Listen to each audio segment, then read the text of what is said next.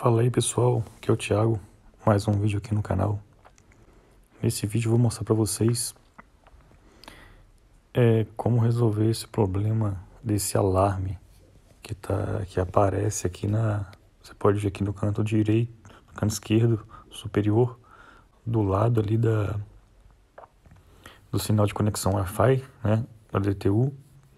Então tem, tem aquele símbolozinho vermelho de uma torre de, de energia de alta tensão. Esse símbolo ele quer dizer que é, tem problema de sobretensão ou, ou baixa tensão na rede. Né?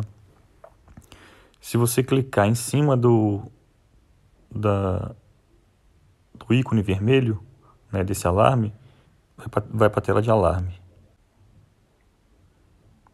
Então aqui, é, tem três registros de alarme.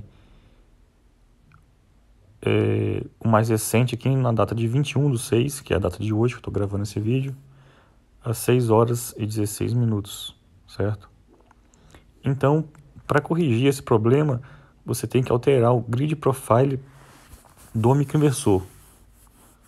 Né? Eu tenho um vídeo específico né, no canal, que eu já fiz há algum tempo, mostrando como eu faço a alteração do grid profile. Eu vou deixar aqui ao final desse vídeo, né, no, no, no card do YouTube aí, o link para você ir para esse vídeo. Beleza?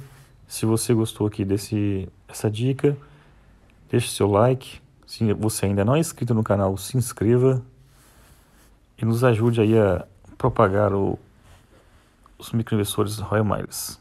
Abraço e até mais.